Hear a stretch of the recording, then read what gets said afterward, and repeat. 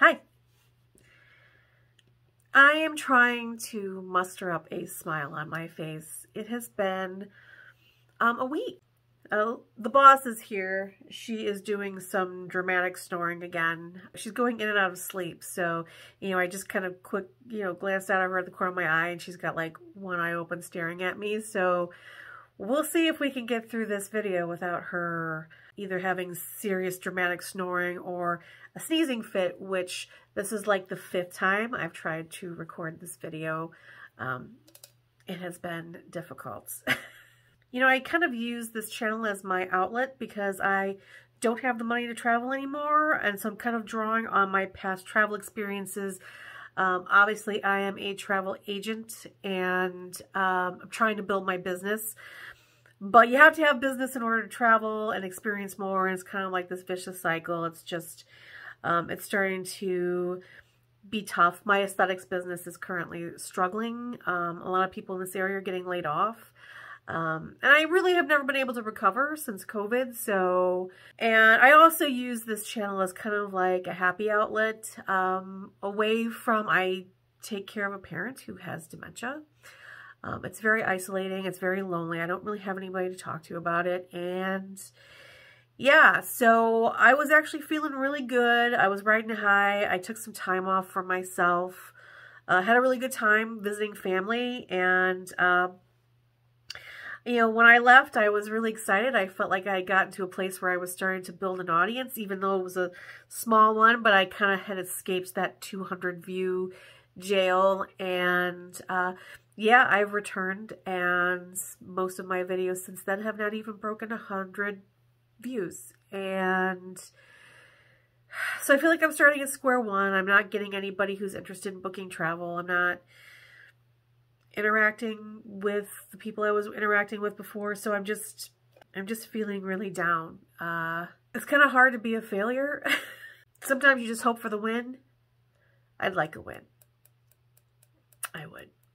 Anyway, that's not what we're here for. We are here to find out what's happening this week. So let's get to it.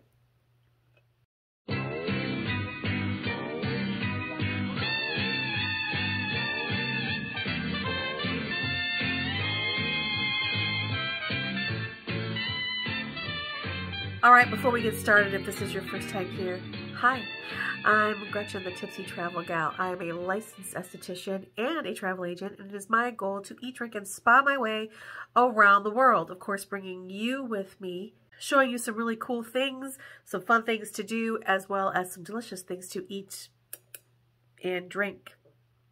My hope is that it inspires you to travel, whether that be international or domestic. So if that sounds interesting to you, please consider subscribing to my channel. I would greatly appreciate it. Also included in the description of this video is a link to my GoFundMe. Check it out. Um, if you have any extra cash to spare, I would really appreciate that as well. Okay, as you know, I always do my disclaimer for the what's happening video. I am not omnipotent. I don't know everything that's going on around the world. I wish I did. So there may be something that's going on in your neck of the woods or something that you find really fun to do. And I'm not going to talk about it. And that's not because I'm avoiding it. It's just because I don't know about it. So first of all, don't get mad. Trust me, my psyche cannot handle meanness right now. Just comment below letting me know what's going on. If it's continuing on next week, I will talk about it next week. And if it's not, I will happily put it on my list to cover when it happens next year. I'll also give you some other ways to contact me at the end of the video. But again, please, no hostility. I just, I don't think I could take that right now. We still have a lot of things kind of going on from the beginning of the month. Uh, we've got a lot of flowers blooming around the world. But this week we're going to focus on food and we're going to head to Dubai.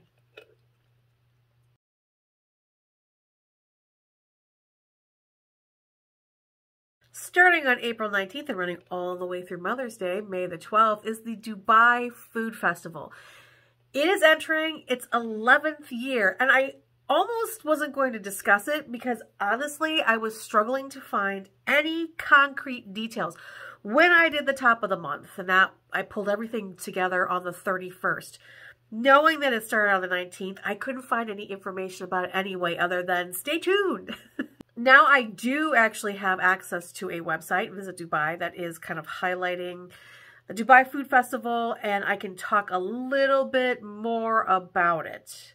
Now this website is where you can make reservations, get more details on the restaurants, buy tickets, all that kind of good stuff. So if you were interested in the Dubai Food Festival, and it is running for quite some time, I would highly recommend checking that website out.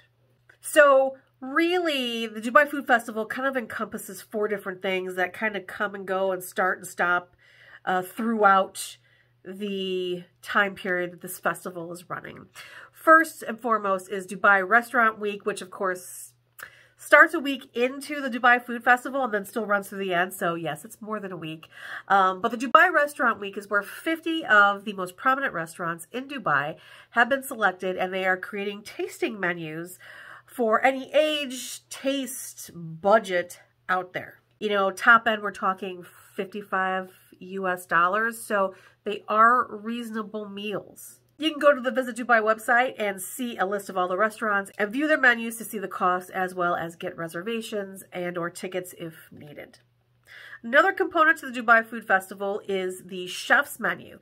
Now this starts in May, May 1st to be exact, and it runs all the way through the end. The restaurants that are participating, the head chef picks their most signature and or best-selling dish. Not only do you get to eat it, but they will be interactive with you. You're definitely going to need tickets and reservations for this. Go to Visit Dubai to get that done. Another component is the foodie experiences. And again, this is for all ages. In fact, the picture on the Visit Dubai website is children. And this is where you can take cooking classes or you can take master classes. And they also have the forehand meals where you assist the chef in the cooking. Again, uh, go to Visit Dubai for the schedule of events as well as reservations and tickets for those. But if you are just wanting to go and try a whole bunch of yummy and delicious food throughout Dubai, but you don't want to break the bank, that is where the fourth component of the Dubai Food Festival comes in, and that is the 10 dirham dish. Now, 10 dirham is like less than three US dollars, so, so you can go to the restaurant and try one of their signature foods for 10 dirham. Again, Visit Dubai has a list of all the restaurants that are participating and their 10 dirham dish. And you can basically just jump from restaurant to restaurant, trying these as you go. So if you're looking for some good food, some fun classes, or just a really deliciously relaxed time in Dubai, the Dubai Food Festival may just be for you. And that is it for this week. I hope you enjoyed this video. Again, if there is something that I missed, please either comment below or you can go to any of my social media accounts. I am Tipsy Travel Gal, all one word, on all of the major social media platforms. Or you can go to my website, tipsytravelgal.com, go to the contact me link on the homepage, and you can send me an email from there. Again, thank you so much for watching. I hope you're having a great week. I am going to try to turn mine around and turn this frown upside down. So until the next time, bye.